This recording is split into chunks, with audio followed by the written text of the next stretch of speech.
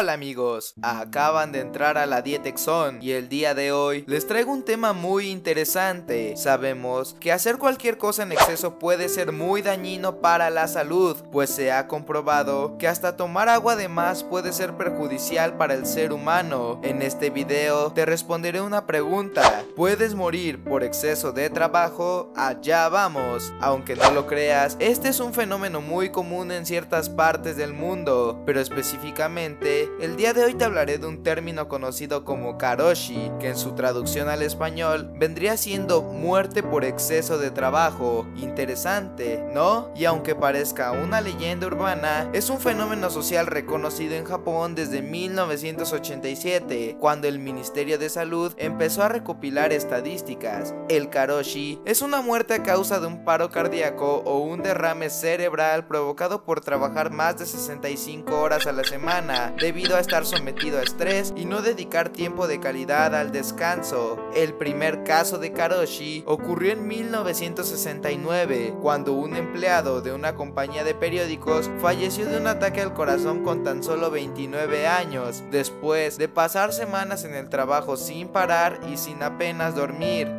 Después de la Segunda Guerra Mundial, los japoneses eran los que tenían las jornadas de trabajo más largas del mundo. Eran unos adictos al trabajo de marca mayor. En los años de la posguerra, el trabajo ofreció a los hombres una nueva motivación, pues no solo se sentían impulsados por la compensación financiera, sino también psicológica. En poco tiempo, la vida comenzó a girar en torno al trabajo. Un informe de la Organización Internacional del Trabajo afirma que un 20% de los japoneses dedican más de 12 horas diarias a su trabajo, dejando de lado su vida personal y este fenómeno supone unas 10.000 muertes al año, una cifra poco clara, puesto que hay algunos casos que ni siquiera se reportan y muchas veces las familias callan por vergüenza, mientras que las empresas se hacen las despistadas para evitar responsabilidades. El estrés laboral supone un tercio de los suicidios anuales en Japón, suicidios que reciben el nombre de Karoshisatsu. Esto es tan serio que si un juez determina que alguien murió por Karoshi, su familia recibe una compensación de unos 20 mil dólares por parte del gobierno